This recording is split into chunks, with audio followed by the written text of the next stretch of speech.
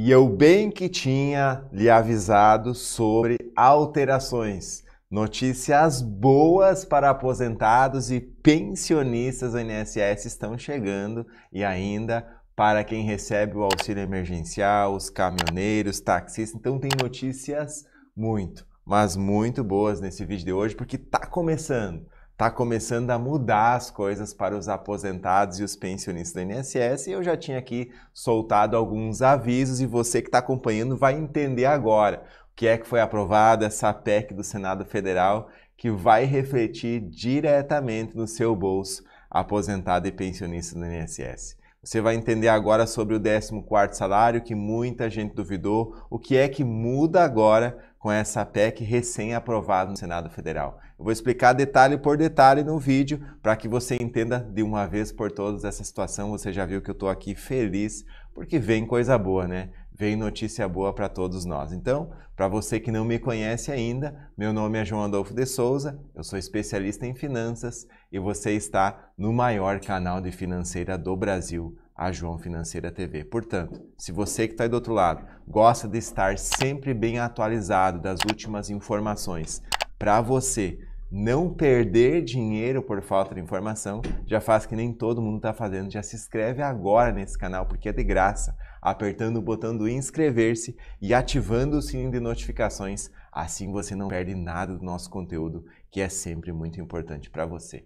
Afinal, muitas pessoas duvidaram, muitas pessoas continuam duvidando e falam sobre o 14º salário do INSS, que não dá para pagar, é inconstitucional, em ano eleitoral não dá para fazer tudo isso, e essa PEC vem para fazer aquela inversão de valores. Eu quero que você acompanhe essa breve história, esse vídeo vai ser muito curto, muito direto e muito objetivo sobre o 14º salário INSS 2022, o 14º salário dos aposentados e o que é que vem junto com essa PEC e para você entender. Então gruda nessa tela e presta bastante atenção, porque eu sei que você que está aí do outro lado já não é mais gato novo. Quando começou, vou mostrar o documento, a forma oficial aqui daqui a pouco na tela para vocês, dessa aprovação dessa PEC, mas para que você entenda ainda melhor. Quando começou a história lá no comecinho do auxílio emergencial, era para ser apenas 200 reais e você bem sabe disso, você vem acompanhando. Eu quero mandar um abraço pro pessoal lá do Facebook que está curtindo a nossa live. Todos que curtiram a nossa live de hoje lá do Facebook, vai aparecer o nome na tela também. As pessoas que compartilhar lá do Facebook vai aparecer. O pessoal do YouTube aí também vai apertando o botão do like, você que já sentiu que vem notícias boas aí. Olha só, como eu bem falei, no começo do auxílio emergencial, 200 reais, que era uma proposta inicial, era um absurdo. Não dava para pagar de jeito nenhum. Aonde já se viu pagar 200 reais para as pessoas que perderam seus empregos, aonde que vai vir esse dinheiro? E o que aconteceu? Houve uma grande mobilização das pessoas que estavam sem empregos, estavam desesperadas, estavam apavoradas. O valor começou ainda maior do que isso, pagou 200 reais, pagou 300, pagou 400, pagou 600 reais de auxílio emergencial. Depois surgiu vários tipos de auxílio, você muito bem sabe disso, inclusive que eu não tenho nada contra com isso. Auxílio para os artistas aí que ficaram sem os empregos durante a pandemia. E eu pergunto mais uma vez, o que é que os aposentados receberam? A mesma coisa que o peixe faz, nada. Só que tudo isso começou a vir mais dúvidas e mais dúvidas. Aí o governo federal decidiu antecipar o 13º salário dos aposentados, que primeiro, mais uma vez, também não dava para fazer. E você acompanhou isso. Você acompanhou, você viu com os seus próprios olhos e eu quero deixar diante de vocês mais uma prova real, mais uma testemunha que no começo também quando se falava de antecipar o 13º dos aposentados, isso não dava para fazer. E o que é que aconteceu, meu amigo, minha amiga aposentada e pensionista? Mais uma vez, foi antecipado o 13º salário, em dois anos consequentes. Só que chega o final de ano, aí você já bem sabe, já não é uma história comum, já isso aí já se tornou tradicional falar que fica sem dinheiro. E aí, tudo isso também nos lembra mais uma pequena história antes de eu mostrar essa PEC aqui do Senado Federal, quando lutamos juntos pela margem dos consignados quando era muito difícil o aposentado e o pensionista conseguir dinheiro e aí precisava de uma margem complementar, uma margem extra. Lutamos juntos, fui várias vezes em favor de você e da sua família a Brasília e lembro mais uma vez, eu não fiz nada sozinho, quero dar os parabéns para você e para sua família que soube cobrar e que não deu bola para outras pessoas que diziam que também não ia dar certo 5%. E eu digo para vocês aqui, a reunião fundamental que eu estive junto ao CNPS, o Conselho Nacional da Previdência Social, juntamente com os líderes do Bolsonaro, aí foi ainda fundamental aquele papel de estar lá e dizer que o aposentado e o pensionista não aguentava mais cair nas mãos de agiotas, não aguentava mais os bancos oferecendo juros juros altíssimos, porque quando está sem margem, coloca aqui se não é uma verdade o que eu estou falando. Quando se está sem margem, o aposentado ou a família do aposentado recorre para onde dá. Vai para a mão do agiota, vai para a mão do banco onde cobra mais caro, e isso agora, aquela vez, acordou, abriu os olhos do governo federal, que também não foi necessariamente um benefício, mas deu certo a aprovação também dos 5% aos 48 do segundo tempo, porque muitas pessoas que estão aqui no canal já acompanham isso. E não foi fácil, minha gente. Eu lembro muito bem quando chegou no, no Senado Federal e como foi difícil explicar para um senador que talvez não tinha tanto conhecimento no mercado financeiro quanto humildemente eu tenho, trabalhando há mais de 18 anos nesse mercado,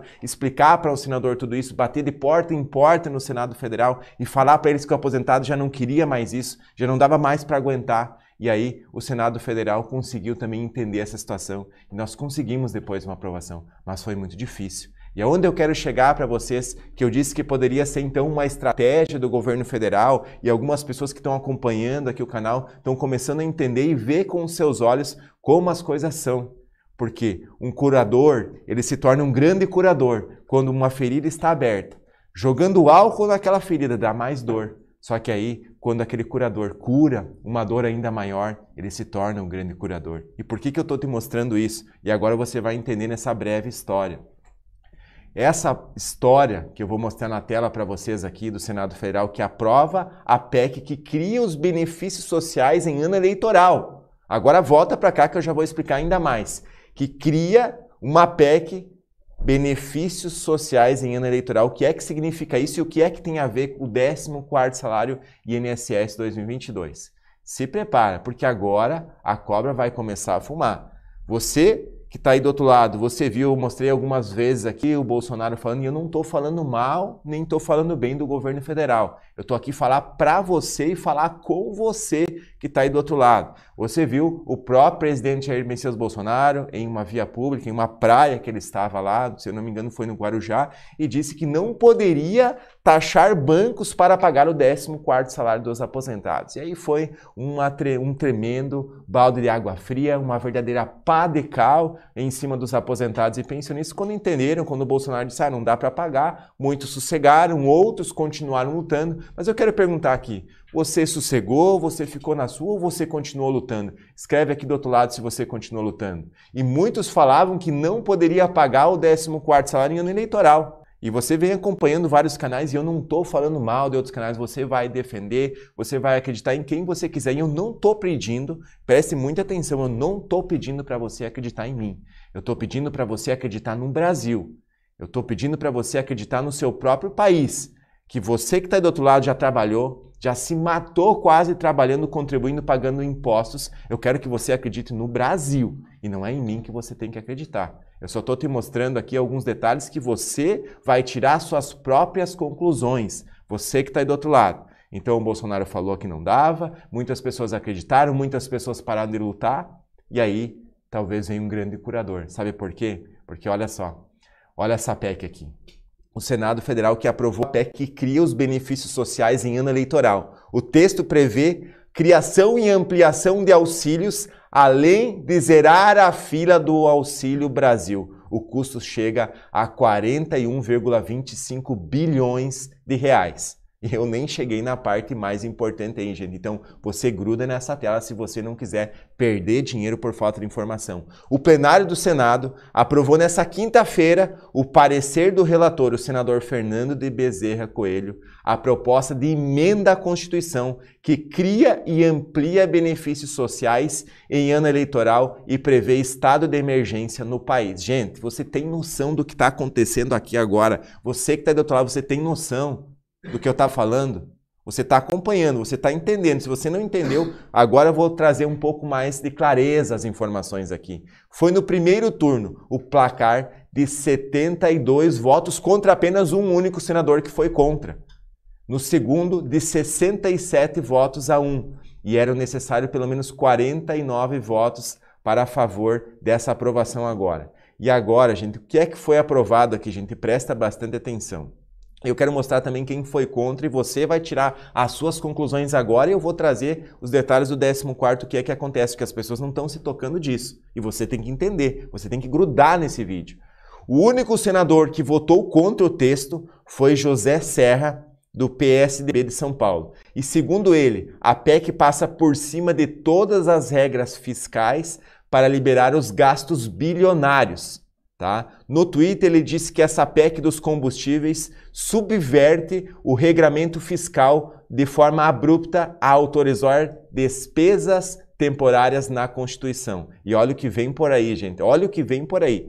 O objetivo da proposta é minimizar os efeitos das sucessivas altas nos preços dos combustíveis e o texto aumenta o auxílio gás, cria um auxílio gasolina para taxistas amplia o valor e zera a fila do Auxílio Brasil e prevê um voucher de um mil reais, um voucher de um mil reais para caminhoneiros autônomos, que tem sido chamado de PIX dos caminhoneiros. Então veja bem, essas medidas aí custarão, gente, a bagatela, né? Pouquinho dinheiro.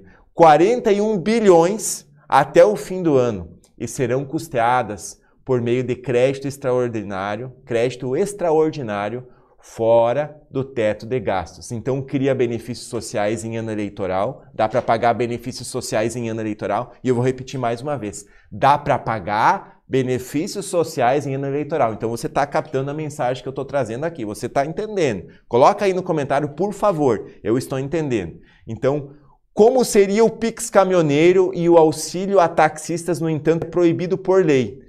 Por isso, senadores da oposição classificam a medida como eleitoreira, gente. Coloca a sua opinião. Preciso que você aí do outro lado, eu vou trazer mais uma declaração aqui, você tem que estar preparado porque eu vou falar, porque a cobra vai fumar.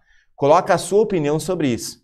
Então agora, nós tivemos recentemente uma antecipação do 13º salário você entendeu que é um dinheiro seu já próprio. O empréstimo do Auxílio Brasil que foi criado agora, que vai ajudar sim milhares de pessoas, mas onde é que vai sair esse dinheiro? Você sabe que as pessoas que recebem um empréstimo, que recebem o Auxílio Brasil, vão fazer o um empréstimo, vão ter que pagar também. E agora, gente, eu pergunto para você, você está entendendo toda essa mudança agora que dá para pagar benefícios sociais em ano eleitoral? Toda essa mudança agora está indo para o caminho que eu disse para você? E será que vem uma surpresa real aí para os aposentados e pensionistas do INSS?